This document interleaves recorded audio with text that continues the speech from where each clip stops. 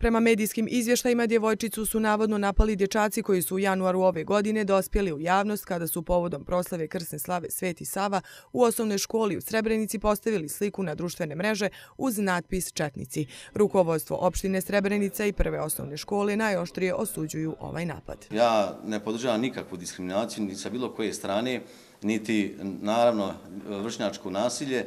E, moramo da utičemo i na sebe, i na roditelje, i na politiku, i da jednostavno školi damo punu podršku u rješavanju problema, ali u institucijama, u školi, u ministarstvu, u opštini, a ne putem medija i na ulici. Naš zahtjev u vezi formiranja savjeta roditelja ispunjen. Zatim je dogovoreno da se školski odbor popuni sa još jednim članom ispred reda bošnjačkih roditelja. Zatim je dogovoreno da se odredi sporazumno jedan dan školi E, koji će biti dan školi koji se neće vezivati isključivo za 27.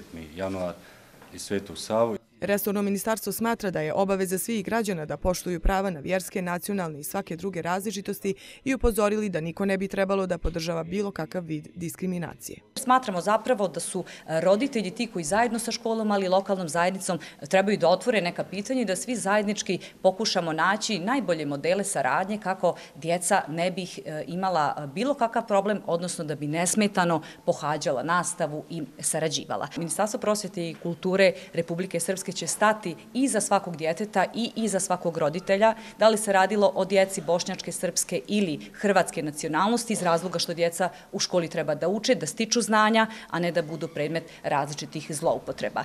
20. februara ove godine u Srebrenici je prijavljen slučaj verbalnog napada na učenicu osnovne škole. Roditelji učenice tad su poručili da su njihovu kćerku vršnjaci vređali i provocirali zbog nošenja hijđaba.